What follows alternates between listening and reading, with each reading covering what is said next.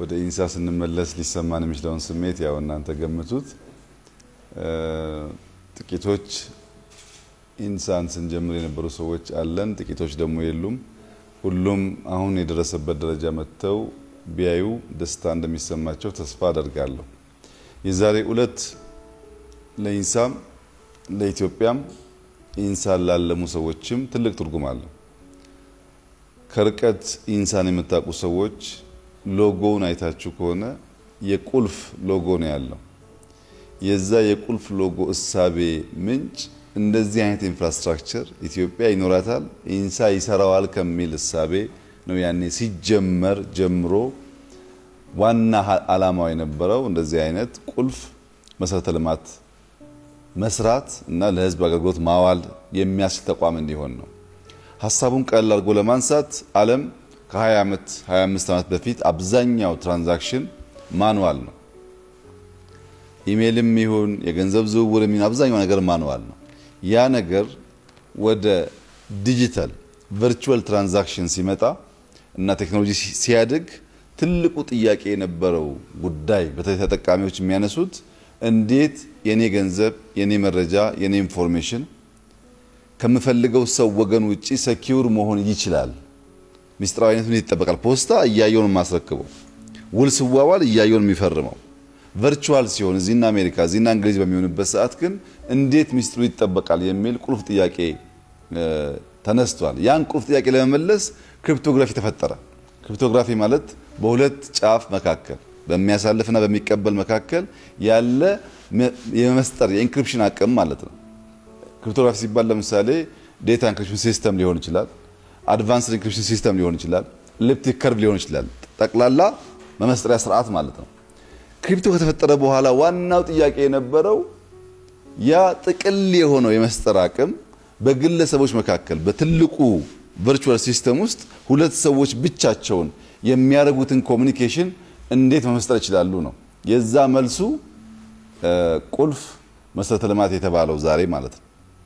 በጣም important element ነው በ crypto ውስጥ digital signature።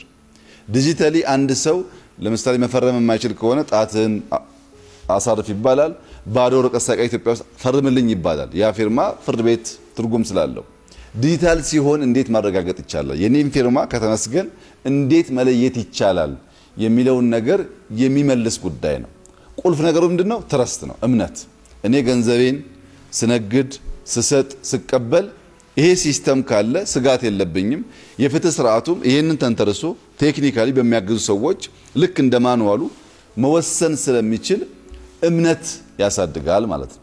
እምነት ካለ በቀላሉ ሰዎች ገንዘባቸውን፣ ሀሳባቸውን፣ ዳታቸውን፣ የትምህርት ስርዓታቸውን፣ ጤናቸውን፣ የ civil service እንቅስቃሴያቸውን በሙሉ አሁን በአካል ለምንቀበላቸው ማንኛውም ወረቀቶች ወደ digital ID እያደገ ያለውን ሀሳብ ቀጥታ ከዚህ ጋር የሚያያዝ ይሆናል። ይሄ ለኢትዮጵያ ትልቅ ተስፋ፣ ለእኛ ደግሞ ህልማችን ሲፈታ ያየንበት እለት ነው። ይሄን ማሳካት አልቻልንም። እኛ ኢንሳ እያለን የተፈጠረው ለዚህ ዓላማ ነው። ዋናው core ስራችን ይሄንን መስራት ነው። እኛ የሰራነው ግን application ሶፍትዌሮች ነው። የ encryption system ከሌላቸው በስተቀረ core የኢንሳን ስራ ማከናወን አይባልም። ያኛው ማንም ሰው ይሰራው ይችላል። ማንም ሰው ተደራጅቶ የሚሰራው ስራ ነው።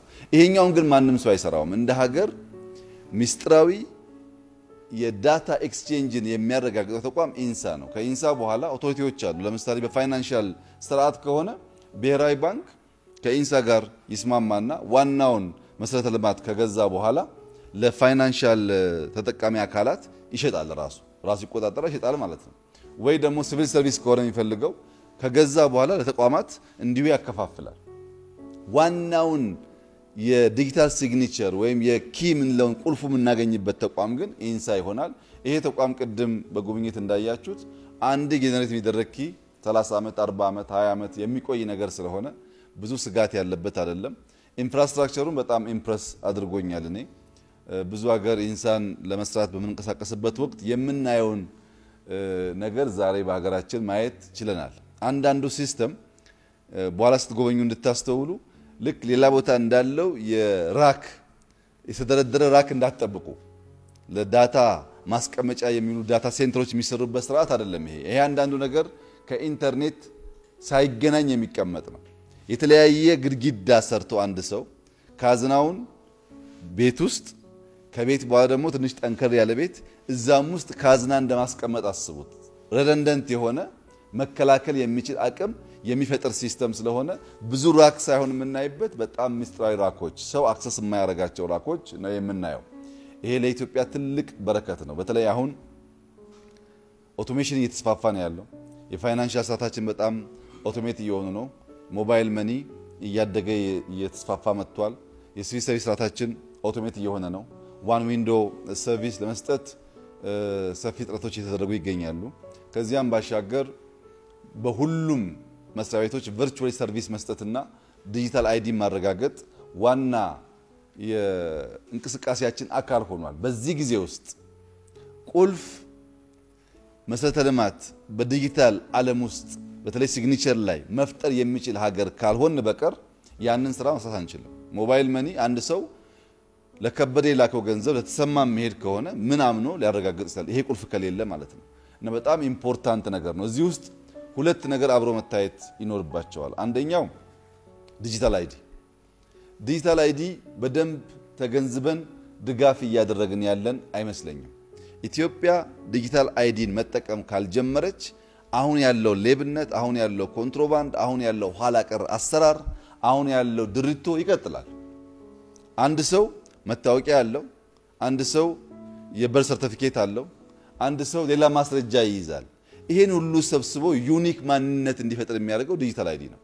digital ID ን በሚመለከት ተቋማት በተናጠል ሳይሆን ከአንድ center መፍጠር አለባቸው። ኦሮሚያ ለብቻ፣ አማራ ለብቻ፣ አዲስ አበባ ለብቻ የሚባል digital ID የለም። national ነው digital ID። ያንን ስንፈጥር የፓስፖርት ስርዓታችን ቅድም እንዳነሳነው ማንኛውም transaction ከሌብነት አደጋ ለመከላከል ያስችላል። መላው ኢትዮጵያ ሕዝብና በዚህ ያላችሁ ሰዎች ማስተዋል ያለባቸው ነገር ኢትዮጵያን physically ማጥቃት ቀላል እንዳልሆነ ብዙዎች ያምናሉ።